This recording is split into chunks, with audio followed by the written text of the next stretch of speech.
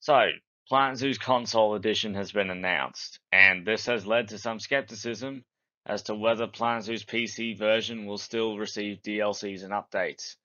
When Planet Coaster received its console edition, DLCs finished and were not seen again for the Planet Coaster PC edition.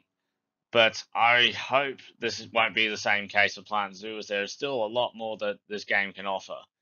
And I would like to suggest some possible DLCs that could end the game and leave us all satisfied somewhat.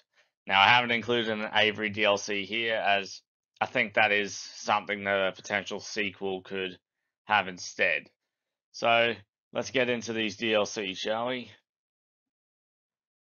Our spring DLC could be the Latin America pack, a scenery pack containing five animals, those being the black howler monkey, the South American coati, the spectacled bear, the ocelot, and for walkthrough exhibits we could potentially get macaws, as these are perhaps the best options for a new kind of walkthrough exhibit animal.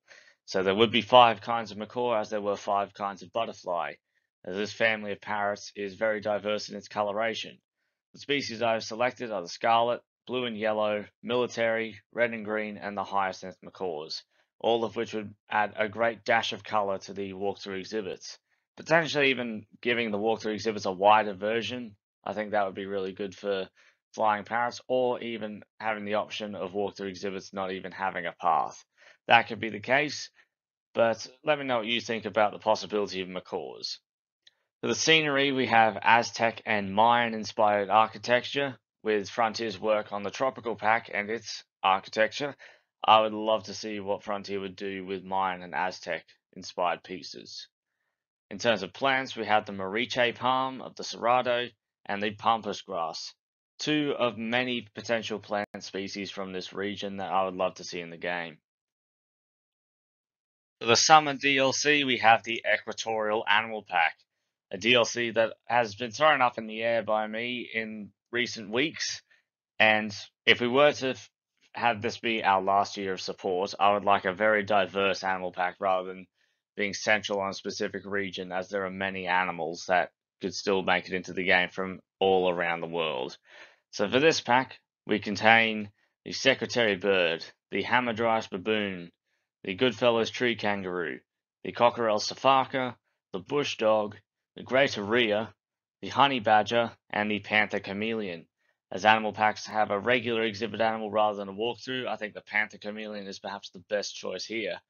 All the other animals are very cool additions, and this pack is full of very unique rigs.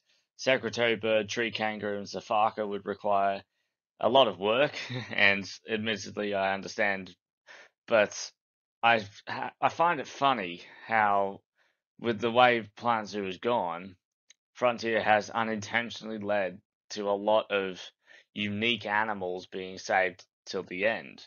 Like Secretary Bird, Tree Kangaroo, and Sifaka. Even the Bush Dog could all have unique rigs. Even the Hamadryas Baboon could use its own rig. Honey Badgers are very similar in movements and behavior to Wolverines, so not much would have to be changed there. The Rhea could double down on the Emu rig, and the Panther Chameleon would have some interesting animations for the exhibits. But let me know what you think. Would you like to see the Equatorial Animal Pack added this year? A pack I have spoken of extensively in the past year. We have the Pacific Northwest Pack, with the American black bear, the elk, the sea otter as a new addition, the mountain goat, and the pileated woodpecker. All five animals would be brilliant additions to all masses of zoo exhibits and the sea otter would perhaps be my favorite animal of the pack. When it comes to scenery, we have Native American architecture characteristic of the Pacific Northwest, as well as log cabins and lodge architecture, and perhaps even having zoo accommodation as part of this update.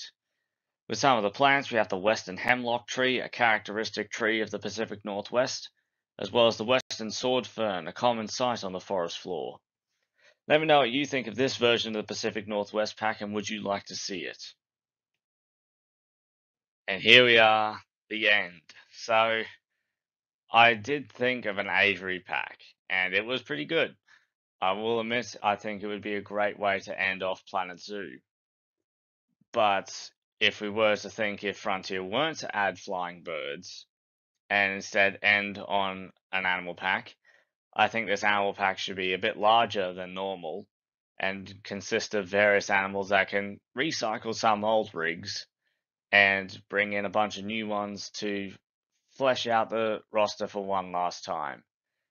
So, from east to west, let's cover the Continental Animal Pack or the Planet Earth Animal Pack.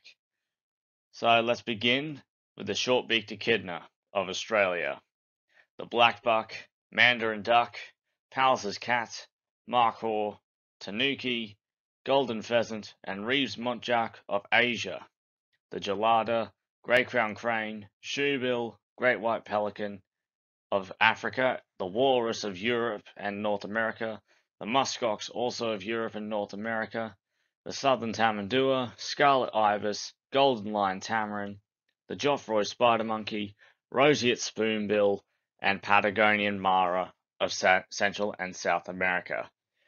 Now, this is a massive pack consisting of 20 animals, but this is actually sort of a reference to Zoo Tycoon 2's expansions, where they had 20 animals.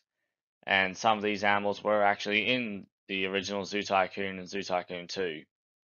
But all these animals, I think, would be the perfect ways to close out Planet Zoo, giving us the diversity of animals that we currently do not have, and many could recycle old rigs. The ones that could recycle old rigs would be the black buck using any antelope rig available, the Mark Markhor using the Ibex, the Pallas's Cat using the Sandcat, Reeves Muntjac potentially using a small deer rig, the Gelada recycling from the Hamadryas baboon, Mandarin Duck taking the Swan rig and just morphing it a little bit, same with the Great White Pelican. Grey Crown Crane and Shoebill would recycle the crane rig. The muskox could possibly double over on the Takin. The walrus would potentially have its own. Southern Tamandua, if they were to add climbing mechanics to the pangolin, I think the the Tamandua could use that rig as well. Scarlet Ibis and Roseate Spoonbill would somewhat go hand in hand, having their own rig, but having different feeding methods. When it comes to unique rigs, we have the short-beaked echidna, the tanuki. Now, granted, the tanuki is a canid, but they do something that most other canids don't, and that's climb. However, I could see them putting it on the similar rig to the bush dog or a fox and giving it the climbing ability. I could see that happening. Golden Lion Tamarin, Geoffroy Spider Monkey, they would have their own unique primate rigs. Golden pheasants would have its own rig too, being a small ground fowl, and we don't really have any except for the Indian peafowl, but potentially recycling that rig and moving it over to a more pheasantine aesthetic, that could work. And the Patagonian Mara is somewhat different to almost every other animal in the game, so it would have its own. The spider monkey being a brachiator, that would be different as well. But I think this would be a good pack for Zoo to end on, as it would just fill out all the missing niches that people are crying out for. I tried to contain the whole of the top 20 and a bit more in these pack ideas so that at least the most requested animals were added into the game and a, a solid diversity for every region is covered. But um, yeah, that's the Continental Animal Pack. Let me know what you think of it and animals that you would possibly change. And there you have it. That is the DLC speculation video. I just wanted to make this quick one as I did think of those two new ideas, those being the Continental and Equatorial Animal Packs. But uh, what do you think? The console edition could potentially spell the end of PC's support of Planet Zoo. And yeah, if you could change anything about these DLCs, what would you change? Leave those in the comments below. As for now, I've been Red Panda Reggie, and thank you for watching the video. Bye bye.